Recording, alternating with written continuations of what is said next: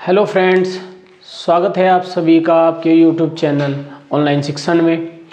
Maths के इस session में जो आज की जो क्लास होने वाली है, वो एक बहुत इंटरेस्टेड क्लास होने वाली है, रोमांचक क्लास होने वाली है। इसमें क्या है? इसमें आने, इसमें टॉपिक है कैलेंडर इसमें से एक क्वेश्चन हर सन, हर एक साल में जब भी आपने टेट दिया होगा, देखा होगा, किस टाइप के क्वेश्चन आते हैं तो आपको एक क्वेश्चन इसमें से देखने को ज़रूर मिला होगा कैलेंडर ठीक है? कैलेंडर आपका जो ये टॉपिक है सिंपल सा टॉपिक है, इसमें से दो से तीन टाइप के क्वेश्चन बनते हैं। कैसे? या तो वो दे देगा कि 8 मार्च 2020 को कौन सा दिन था? सिंपल सा। क्या कहेगा? कि 8 मार्च 2020 को कौन सा दिन था? पहला टाइप का क्वेश्चन दूसरे टाइप का क्वेश्चन कहेगा कि आज मंगलवार है, ठीक है? आज से पैंसठ दिन बाद कौन सा दिन होगा? समझ आ गया? दूसरा टाइप पहला टाइप क्या बताया? कि सिंपल सा दे देगा कि 12 मार्च 2020 को कौन सा दिन था? या दूसरा टाइप कहेगा कि आज सोमवार है या आज मंगलवार है और आज से पैंसठ दिन बाद छियासठ दिन बाद या बासठ दिन बाद कौन सा दिन होगा? या थर्ड टाइप का क्वेश्चन आते हैं कि किस कैलेंडर कौन सा कैलेंडर वर्ष रिपीट होगा? मतलब 2003 का जो कैलेंडर है, वो आगे कब रिपीट होगा? सेम टू सेम वही दिन, वही तारीख, वो अगले कैलेंडर में, अगले कौन से सन में वो सेम कैलेंडर रिपीट होगा। तो आपको तीन टाइप के इसमें क्वेश्चन देखने हैं। तो तीन टाइप के क्वेश्चन देखने के लिए चलते हैं आज की वीडियो की तरफ़। तो ये है कैलेंडर। सबसे बड़ी बात यह है कि हमको इसमें कुछ ऐसा है तो है नहीं डिस्क्रिप्टिव चीज़ें हमको डिस्कस करनी है कि कैलेंडर क्या होता है। सबको पता है कि कैलेंडर होता क्या है। ठीक है? अब हमको इसमें सबसे मेन चीज़ इसमें क्या है? मैं एक वर्ड यूज़ करने वाला हूँ ओड डेज़ क्या यूज़ करूँगा? ओड डेज़ मतलब इनको बोलते हैं अतिरिक्त दिन। क्या बोलते हैं? अतिरिक्त दिन। तो मैं जब भी आपके सामने बोलूँ कि ओड डेज़ मतलब अतिरिक्त दिन होते क्या है? तो मैं पहले आपको इसे समझाने की कोशिश करता हूँ कि ओड डेज़ क्या होता है। ओड डेज़ वे डेज़ होंगे जो एक कंप्लीट वीक के बाद बची हुई संख्या होगी। मतलब मान लो मैंने कहे दस दिन। दस दिन का मतलब क्या है? हमारे पास एक सप्ताह में सात दिन होते मतलब हमारे पास इस दस दिन में एक तो सप्ताह है और प्लस तीन दिन है। तो मतलब सप्ताह, कंप्लीट सप्ताह के अतिरिक्त जो दिन होगी मतलब कितने दिन बचे हमारे पास? तीन दिन। तो इन्हीं दिनों को मैं ओड डेज़ बोलने वाला हूँ। ठीक है? समझ आ गया? ओड डेज़ क्या होता है? ओड डेज़ होते हैं। एक कंप्लीट वीक के बाद जो दिन बचेंगे, उसको हम ओड डेज़ बोलने वाले हैं। ठीक है? बार बार ये वर्ड रिपीट होगा। तो आपको याद रखना है कि ओड डेज़ क्या होता है? ओड डेज़ होता है कि मतलब एक सप्ताह से अलग जो दिन बचेंगे, उसको क्या कहेंगे? उसको कहेंगे ओड डेज़ ठीक है? अब चलते हैं पहला। अब हमारे पास एक होता है लीप ईयर। क्या होता है? Leap year. जिसको हम लीप वर्ष बोलते हैं। ठीक है? भाई, अभी मैंने आपको बताया कि ओड डेज़ क्या होंगे? ओड डेज़ वे डेज़ होंगे जिसमें एक सप्ताह के अतिरिक्त कुछ भी दिन होंगे उनको ओड डेज़ कहने वाले। अब हम चलते हैं लीप ईयर की तरफ़ को। अब लीप ईयर क्या होता है? लीप ईयर वो सन होता है जो चार से डिवाइड हो जाएगा। चार से कंप्लीट जो डिवाइड होता है, उसको लीप ईयर बोलते हैं। मतलब जैसे मान लो मैंने लिखा सोलह 1600 तो ये कंप्लीट चार से डिवाइड हो रहा है तो इसका मतलब ये एक लीप ईयर है। 1820 में लिख देता हूँ तो क्या ये चार से डिवाइड है? डिवाइड है। तो इसका मतलब ये चार से डिवाइड हो रहा है तो ये भी एक लीप ईयर है। मैं लिखता हूँ 1940 क्या ये चार से डिवाइड है? हाँ डिवाइड है। मैं लिखता हूँ 2000 क्या ये चार से डिवाइड है? हाँ डिवाइड है। मैं लिखता हूँ 2012 या 2020 क्या ये सभी ईयर चार से डिवाइड है? हाँ डिवाइड है। तो इसका मतलब ये होते हैं लीप ईयर और ये लीप ईयर क्या होता है? लीप ईयर वो वर्ष होता है जिसमें एक दिन एक्स्ट्रा मतलब उसमें फरवरी एक दिन एक्स्ट्रा होती है। भाई, जो साधारण, जो नॉर्मल वर्ष होता है, हमारा साधारण वर्ष होता है, उसमें तीन सौ पैंसठ दिन होते हैं, जिसमें जो फरवरी होती है वो 28 दिन की होती है। लेकिन लीप ईयर में उनतीस दिन की फरवरी होती है, ठीक है? उनतीस दिन, एक दिन बढ़ जाता है तो उसमें तीन छियासठ दिन हमारे हो जाते हैं। तो लीप ईयर हमको समझना है लीप ईयर वो साल होता है जो मतलब जिस साल को हम चार से कंप्लीट डिवाइड कर सकते हैं, वो लीप ईयर होता है, ठीक है? तो आपको समझना है कि लीप ईयर क्या है? लीप ईयर वो ईयर है जो कंप्लीटली चार से डिवाइड हो जाएगा, ठीक है? मैं बात करता हूँ एक साधारण वर्ष की। एक साधारण वर्ष जो होगा, एक सिंपल जो वर्ष होगा, उसमें हमारे पास तीन सौ पैंसठ दिन होंगे।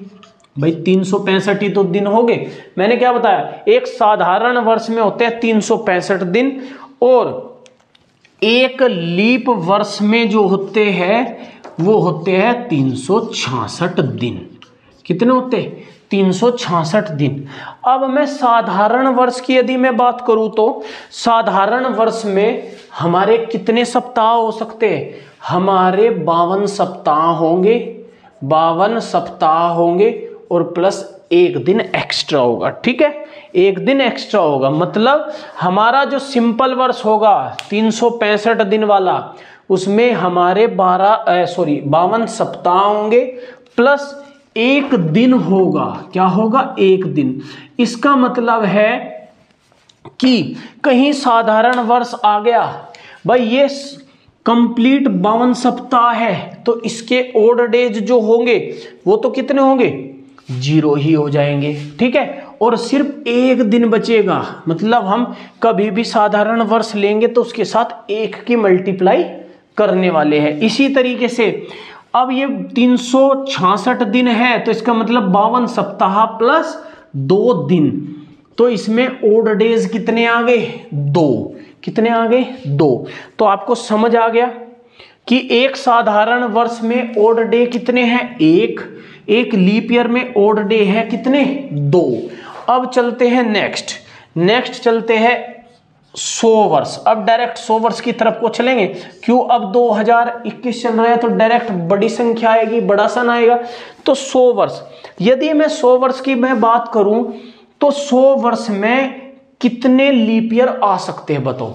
सौ वर्ष में कितने लीप ईयर आ सकते हैं? भाई भाई, ए, हर एक चार साल के बाद लीप ईयर आता है तो इसका मतलब चौबीस की मैं यदि चार में करूँ मल्टीप्लाई तो नाइन्टी सिक्स चौबीस चौका छियानवे मतलब हमारे पास चौबीस लीप ईयर आ सकते हैं। भाई, अब मैं इसमें चार जोड़ूँगा तो पूरे सौ हो जाएँगे। पूरे सौ हो जाएँगे मतलब तो इसका मतलब सौ वर्ष में हमारे पास कितने कंप्लीट क्या होंगे?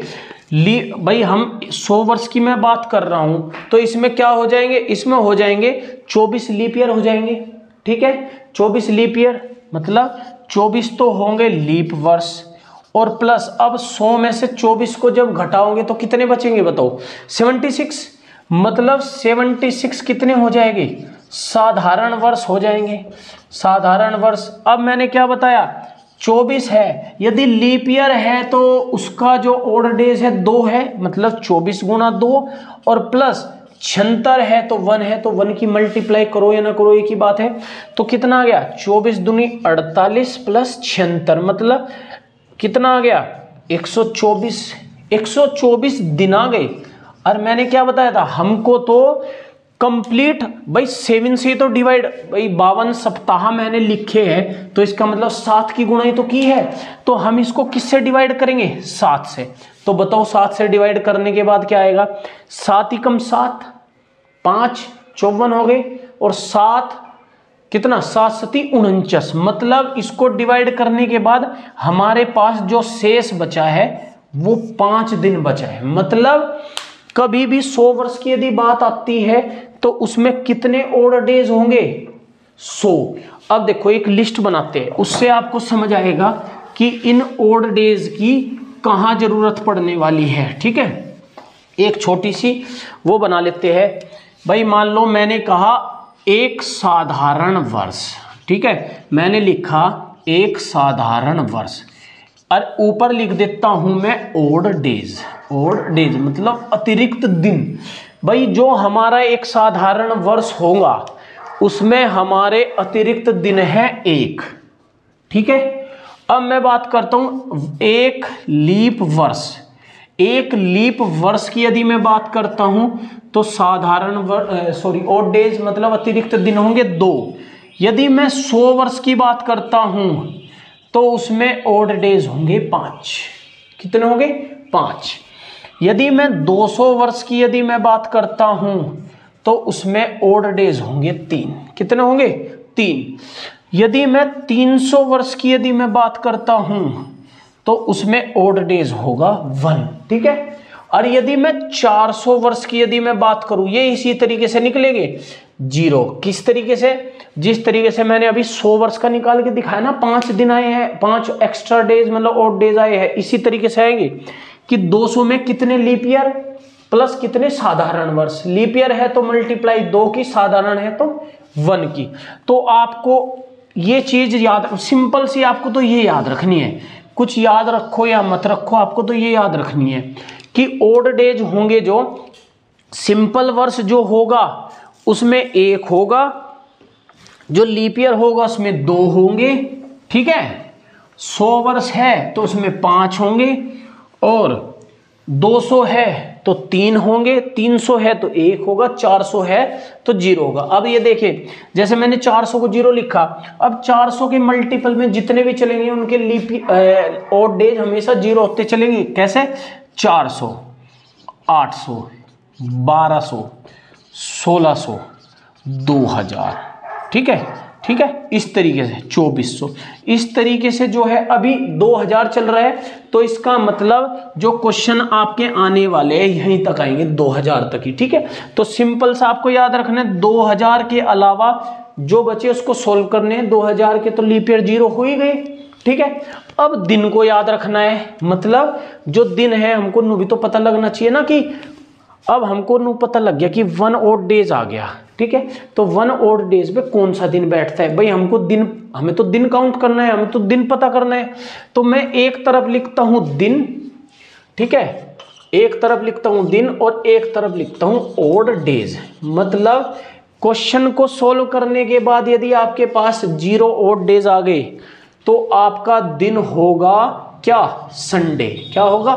संडे यदि ओड डेज़ आपका वन हो गया तो हो जाएगा मंडे टू होगा तो हो जाएगा ट्यूसडे थ्री होगा तो क्या हो जाएगा? वेनसडे फोर है तो थर्सडे फाइव है तो फ्राइडे और सिक्स है तो सैटरडे तो आपको सिंपल सी ये चीज़ याद रखनी है।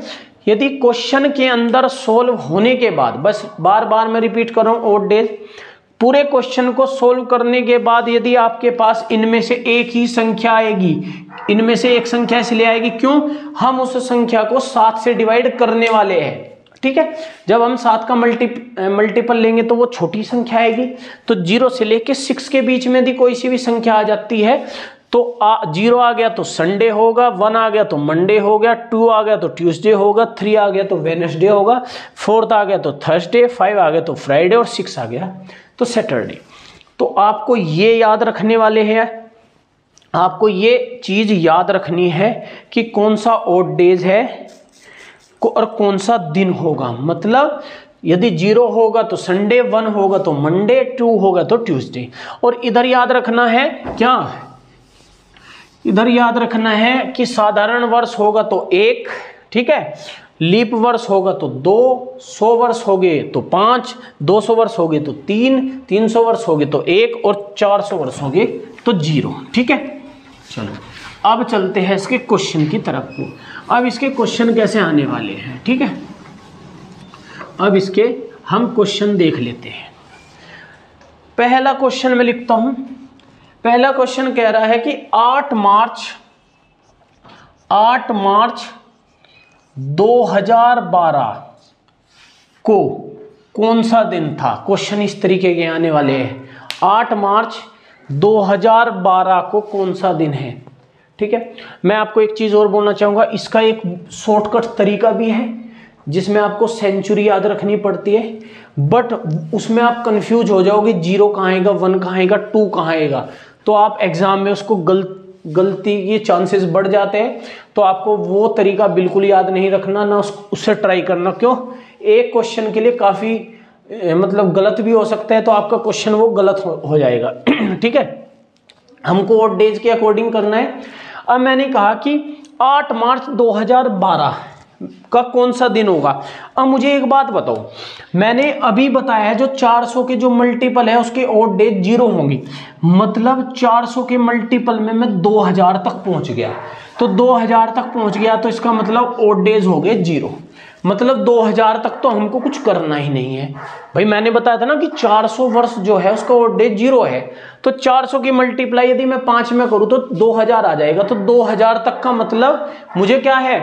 2000 तक के तो ऑर्डेज मुझे देखने ही नहीं, वो तो ज़ीरो हो गए।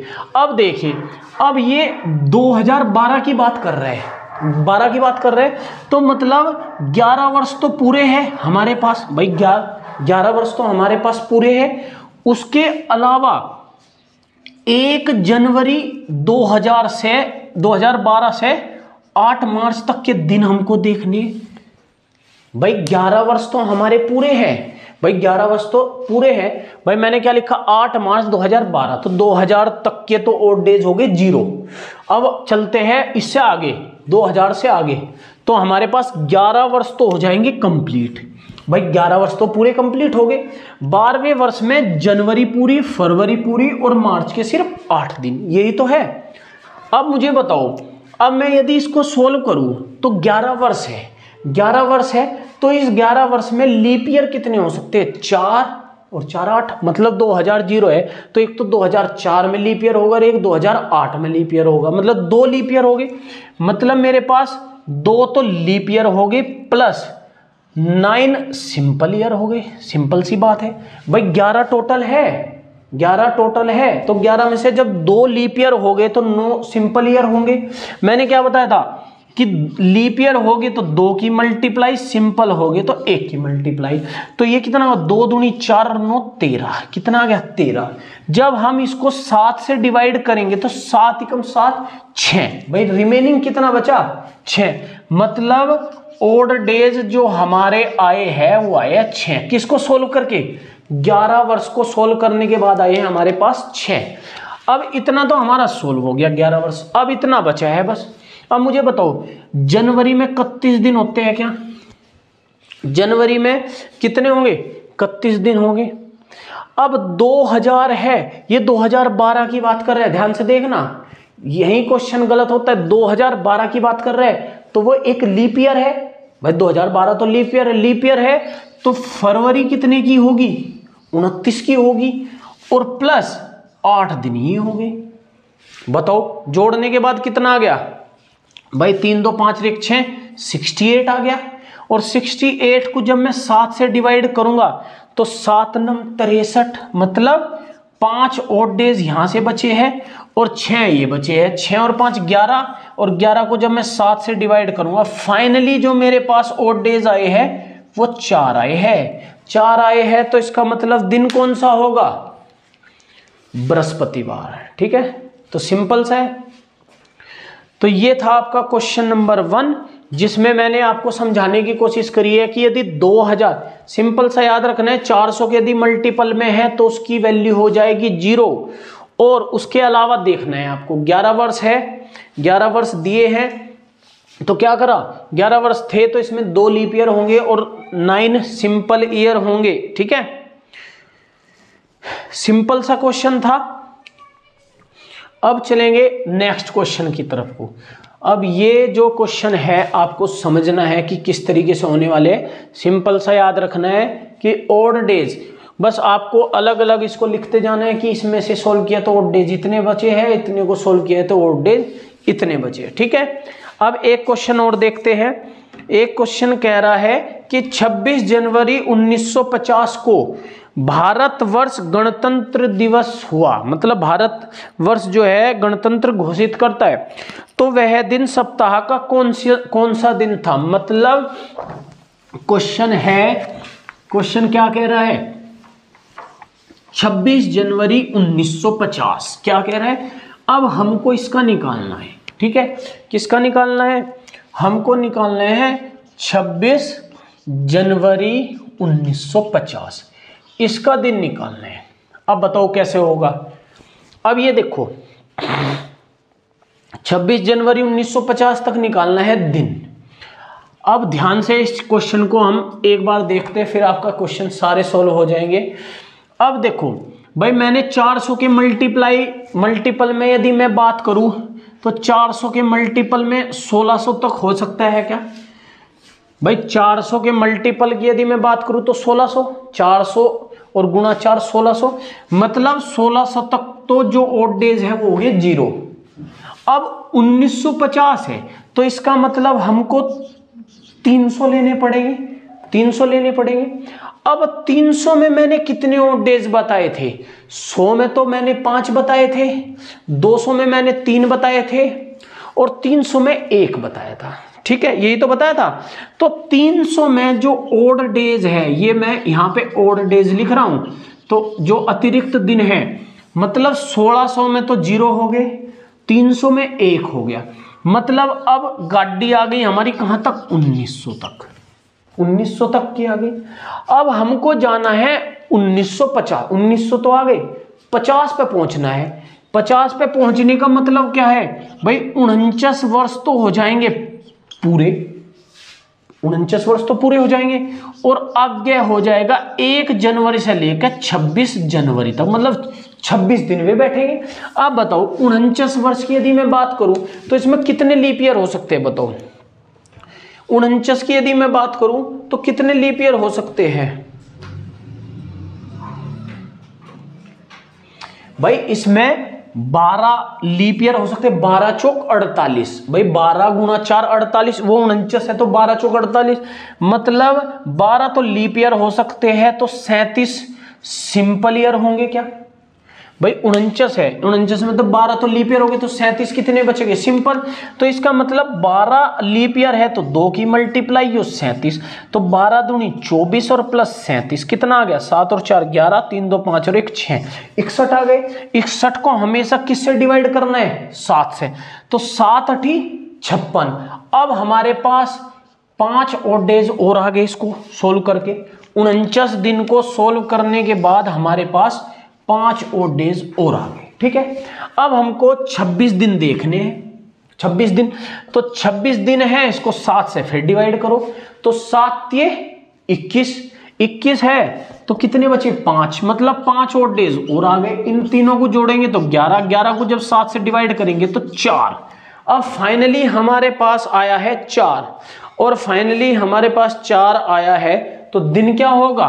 थर्सडे क्या होगा? थर्सडे भाई, चार और डेज़ जो होंगे, उसके सामने दिन क्या होगा?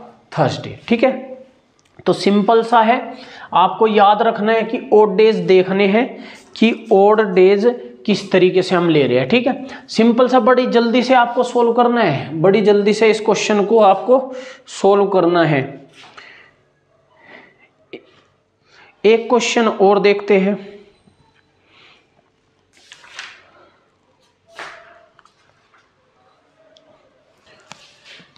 इसी टाइप का एक क्वेश्चन और ले लेते हैं। ठीक है? फिर इसके नेक्स्ट टाइप की तरफ़ को चलेंगे। उसमें, इसमें कुछ नहीं आने वाला सिंपल यही क्वेश्चन आते हैं तो आपको ओड डेज़ याद रखने हैं। और आपको ये देखना है क्वेश्चन के अंदर पूछा क्या है? मतलब किस टाइप का क्वेश्चन है? सिंपल सा ये, दिन पूछे है या क्या पूछे है? ठीक है? एक क्वेश्चन और देखते हैं। क्वेश्चन कह रहा है कि 11 मार्च 2012 11 मार्च 2012 में कौन सा दिन होगा? बताओ कैसे होगा? सिंपल सा है। मैंने क्या बताया? भाई 2000 पे यदि तक बात पहुँच गई तो उसके आउट डेज़ आ गए ज़ीरो चार सौ गुना पाँच, दो हज़ार।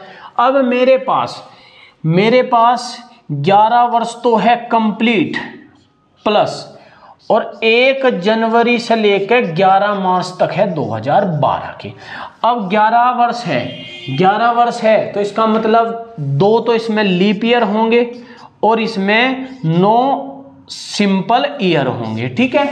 तो नौ दो लीप ईयर होंगे तो दो गुणा दो और प्लस नौ मतलब चार और नौ तेरह। जब तेरह को सात से डिवाइड करेंगे, बचेंगे छः मतलब इसमें हमारे ओड डेज़ छः और ऐड होंगे। ठीक है? तो इतना सोल्व हो गया। अब चलते हैं जनवरी की तरफ़ को। अब एक जनवरी है तो इसमें इकतीस दिन तो हो गए जनवरी के। फिर 2012 है तो 29 दिन हो जाएँगे फरवरी के प्लस 11 तो कितना हो जाएगा ये हो गया 60 और प्लस क्या? Eleven seventy one. तो सेवेंटी वन को जब सात से डिवाइड करेंगे, कितना हो जाएगा? सात नम तिरसठ। सात नम तिरसठ तिरसठ सत्तर, एक एक बच गया तो ये आ गया वन। वन आ गया तो छः एक, सात, पूरा आ गया सात। जब सात से डिवाइड करेंगे तो ज़ीरो। Sorry one. सात से आ गया वन। ठीक है? समझ आ गया? क्या हुआ है इसमें? मतलब ये जब पूरा कटा है, क्या, ये क्या है? अब सात बटे सात आ गया तो इसका मतलब एक बार कटा है। इसका मतलब जो हमको तो रिमाइंडर देखना होता है, क्या देखना होता है? रिमाइंडर तो रिमाइंडर आ गया ज़ीरो और रिमाइंडर जब ज़ीरो आ गया तो आंसर क्या हो गया? संडे क्या हो गया? संडे समझ में आ गया? तो क्वेश्चन आपको समझ में आया किस टाइप से हो रहा है? सिंपल सा है। आपको बस ओड डेज़ निकालना आना चाहिए। जल्दी जल्दी से आपको ये करना है। आपको याद रखना है, सौ दिन सौ दिन है तो कितने और डेज़ रहेंगे? 200 सॉरी 100 वर्ष है तो कितने और डेज़ रहेंगे? और 200 वर्ष है तो कितने? ठीक है? अब दूसरे टाइप का देखते हैं क्वेश्चन दूसरे टाइप का क्वेश्चन कह रहा है कि आज मंगलवार है, ठीक है? आज जो है, वो क्या है? वो है ट्यूसडे ठीक है? आज क्या है? ट्यूसडे है. तो वो कह रहा है कि इसके बासठ दिन बाद कौन सा दिन होगा? बताओ क्या होगा? किस तरीके से इसको सोल्व करने वाले हैं? भाई, इसके दो तरीके हैं करने की। कैसे? भाई, आज ट्यूसडे है। या तो हम इसे बासठ को सात से डिवाइड करें। बासठ से डिवाइड करें। कितना आ जाएगा? सात अठी छप्पन। छप्पन मतलब छः ओड डेज़ बच गए। कितने बच गए? छः ओड डेज़ और छः ओड डेज़ का मतलब कितना आ जाएगा बताओ। इससे मंगल से छः दिन आगे बढ़ो। आगे बढ़ो मतलब पूरी एक साइकिल सात दिन की होती है तो पूरी एक साइकिल सात की होती है तो इसका मतलब वो दिन बैठेगा क्या? मंडे भाई, एक दिन कम कर दो मंडे या तो इसको ऐसे सोल्व करो, या डायरेक्ट क्या करना है? अब ये बताओ, आज मंगलवार है और बासठ दिन की बात कर रहे हैं तो एक एक हफ़्ते में सात दिन होते हैं। यदि मैं इसकी नौ में मल्टीप्लाई करूँ तो तिरसठ दिन बैठ गए। मतलब जो आज मंगलवार है तो तिरसठवा दिन जो होगा, वो मंगल होगा। भाई, जैसे आज है, मान लो आज डेट जो होगी, जो भी आज डेट है, मान लो आज क्या है? 20 तारीख है, मान लो 20 जनवरी है, और 20 जनवरी का मंडे है। तो इसका मतलब आ, आगे 27 जनवरी का भी मंडे होगा सात दिन के बाद। तो इसी तरीके से जैसे आज मंगलवार है तो मतलब एक दिन में एक हफ़्ते में सात दिन होते हैं तो इसका मतलब तिरसठवा जो दिन होगा वो भी ट्यूसडे होगा। और उसने पूछा है कितना? बासठवा दिन तो एक दिन पीछे आ जाओ। मंगल होगा तो एक दिन पहले क्या होगा? सोमवार होगा ठीक है? चलो। क्वेश्चन देखते हैं नेक्स्ट इसी टाइप का। क्वेश्चन कह रहा है कि आज फ्राइडे है। क्या है? आज फ्राइडे है। तो आज से चौहत्तर दिन बाद क्या होगा? कौन सा दिन होगा? बताओ क्या, कैसे इसको सोल्व करेंगे? भाई, सात दिन होते हैं, सात दिन। एक हफ़्ते में सात दिन होते हैं। मैं यदि ग्यारह की मल्टीप्लाई करूँ तो ये हो गया स्वतंत्र कितना हो गया स्वतंत्र भाई, ग्या, मैं सात दिन की मल्टीप्लाई ग्यारह से करूँ तो स्वतंत्र मतलब स्वतंत्र वाले स्वतंत्र वाले दिन दिन होगा फ्राइडे तो इसका मतलब छिहत्तर पे क्या होगा, पिछहत्तर पे क्या होगा, और चौहत्तर पे क्या होगा? पीछे चलो। भाई, यहाँ शुक्रवार है तो बृहस्पत, बुध, और क्या हो जाएगा? मंगल। तो मतलब चौहत्तर दिन बाद क्या होगा? मंगल होगा। तो आपको क्या याद रखना, एक साइकिल बनानी है। साइकिल बना लिए, सात दिन है तो उसको मल्टीप्लाई करना है। ये देखना है, उसके अप्रोक्स आपको पहुँचा देना है, ठीक है?